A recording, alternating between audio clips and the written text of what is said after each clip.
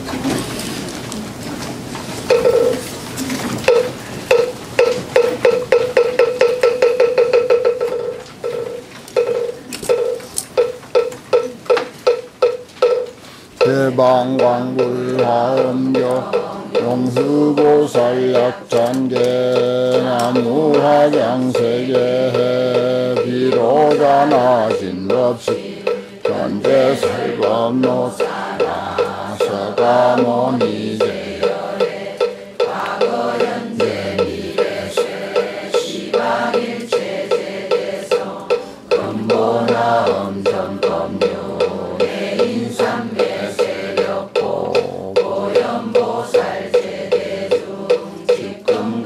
신신정신 속생신정도량신 신경, 돌연신과 사형책 한, 한, 한 개에 갖다가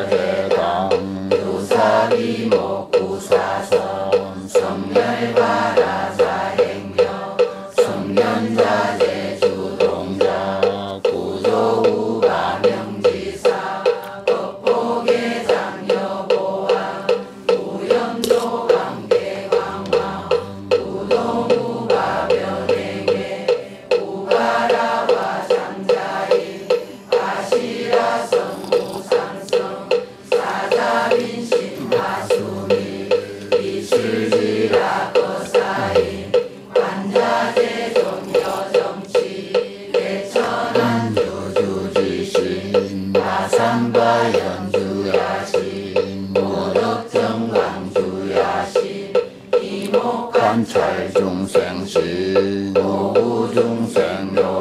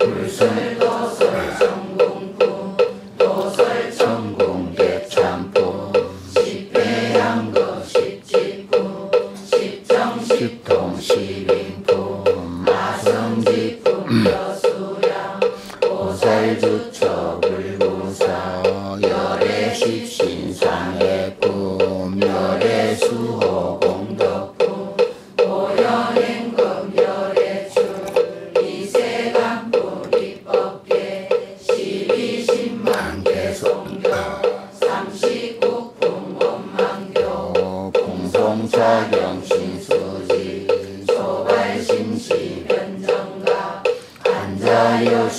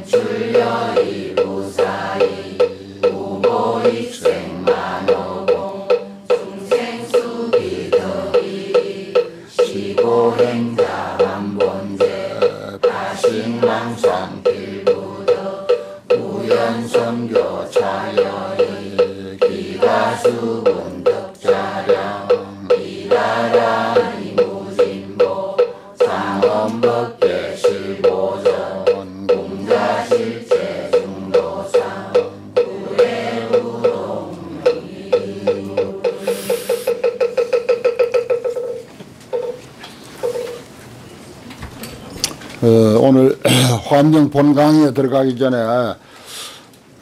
화엄경 약찬계 작은 해설이란 책이 한 권씩 돌아갔죠.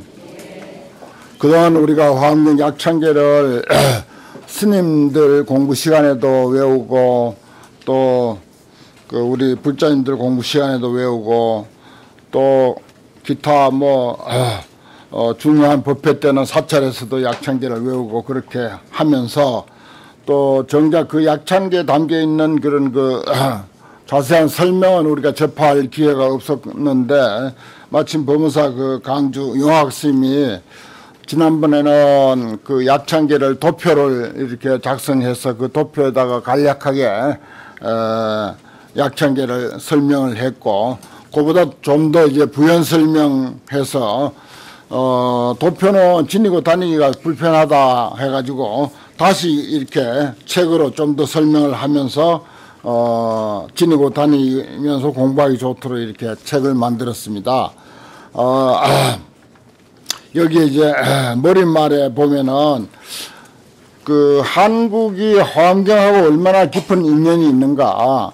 또 한국 불교는 진정 어, 화엄경 불교가 맞는가.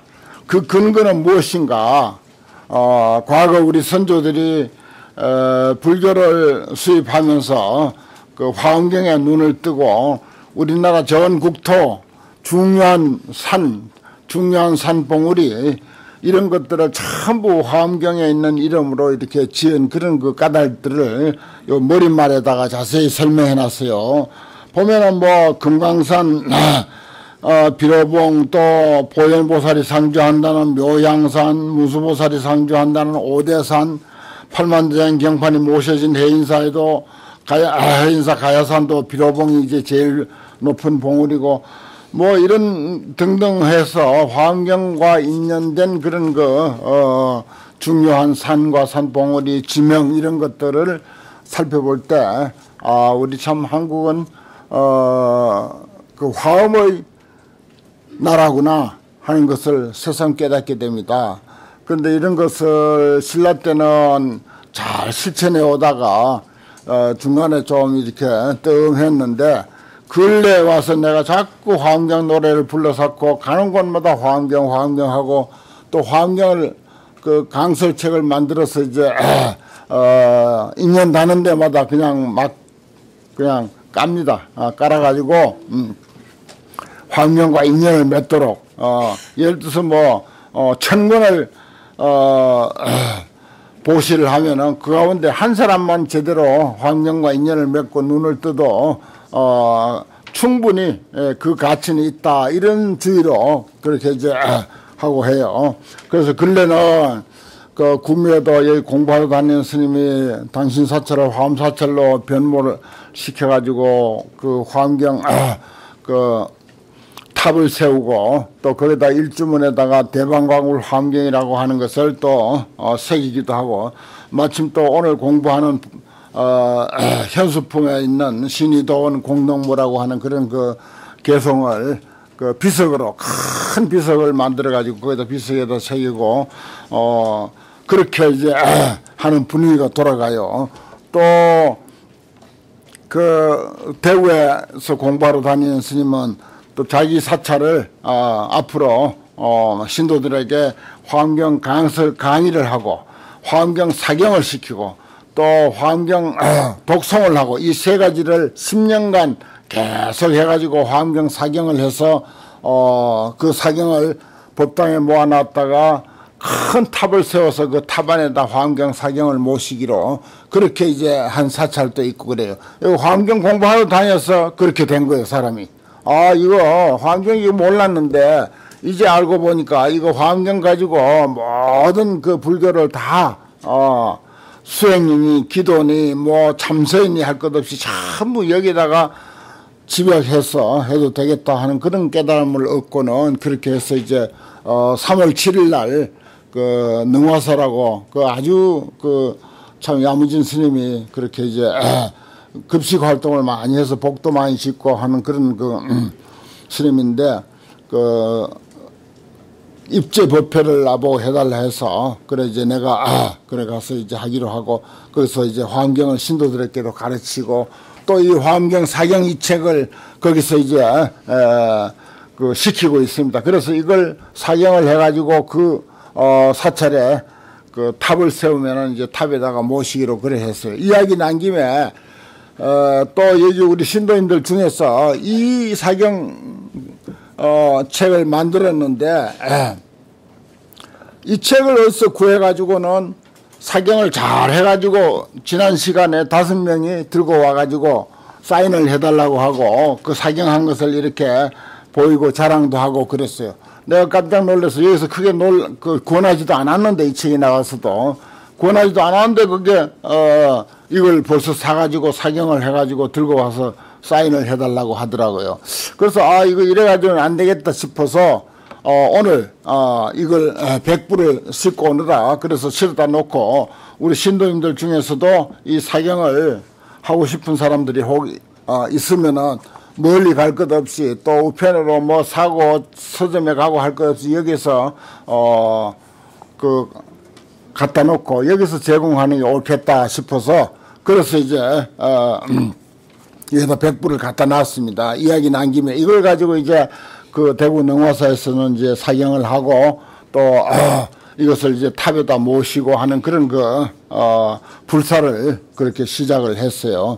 그 3월 7일부터 시작을 하고 또 거기에 연관되는 어, 사형사제들 절세 곳이 있는데 저기 뭐 아, 다른 지역에 있는데 그 절하고 연계해가지고 전체가 네 개의 사찰이 동시에 그렇게 하고 있어요.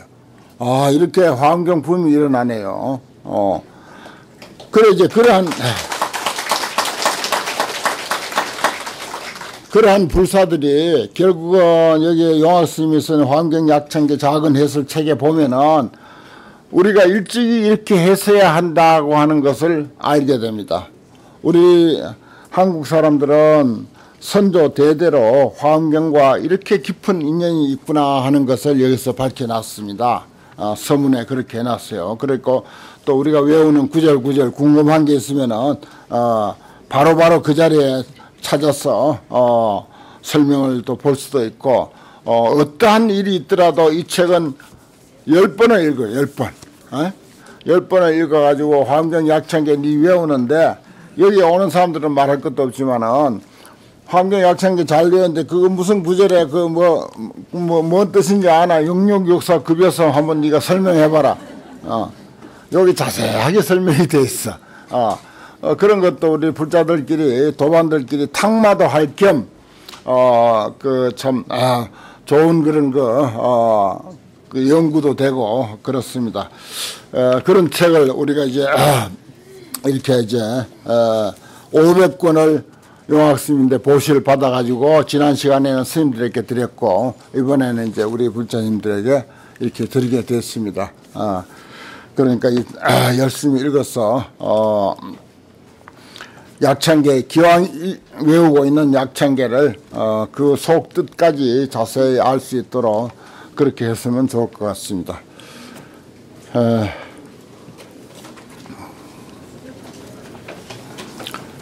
이 책은 여기 우리 그 어, 아, 사무부는 보살님에게 부탁하면 됩니다. 어, 시중에서 사는 사는 것보다 싸요 좀. 어, 왜냐 내가 사다 놨기 때문에 내가 백지를 사다 이거 다 드렸으면 좋겠는데 이건 열 권짜리 백질이니까 이게 어, 그 또 값이 또 보통이 아니라 아, 그래서 언젠가 또, 어, 음, 다 드릴 수 있는 그런 또 기회가 될 겁니다. 음. 오늘은 87쪽, 그, 아, 현수품, 어, 현수품 1 이렇게 했는데, 대방공물 화엄경 제14권 중간이고, 또 12 현수품 1이 되고, 그 다음에 다음 15권은 또 현수품 2가 돼요. 그래서 이제 현수품이 14권 중간부터 15권까지 이렇게 연결됩니다. 음. 내가 아주 현수품, 요, 아, 정행품하고 현수품하고 이렇게 현수품 1하고 같이 합해진 14권을 내가 보급을 제일 많이 했어요. 어, 통소에 가서 3,000권 한 것도 이걸 가지고 했고, 저기 저 구미에 그 1100권을 한 것도 이 책을 가지고 했고 그렇습니다. 정형품 참 내용이 좋잖아요. 비록 우리가 뭐 식사를 하고 길을 가고 할 때 꼭 중생을 떠올리지는 못하더라도 그래도 중생을 떠올리라고 하는 그런 말씀을 한번 우리가 공부하고 또 귀로 스치고 지나간 그 이근 공덕만 하더라도 어뭐 어, 훌륭하지 않나 그런 생각을 합니다. 그걸 이어서 이제 현수품도 참 중요한 내용이 있어요. 문수보살의 문법이라 그랬습니다. 문수보살이 법을 물어요. 크 어, 훌륭하신 문수보살이 법을 묻고 현수보살이 답을 하는 형식으로 이 현수품은 구성이 됐습니다.